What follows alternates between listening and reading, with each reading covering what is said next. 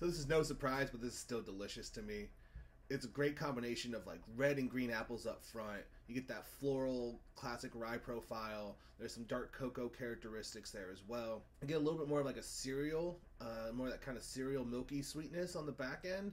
Uh, kind of like you know the the milk at the end of a cereal bowl where it has a little bit of that graininess, but a little bit more sweetness from that like a little bit of vanilla or a little bit of creaminess from the milk itself.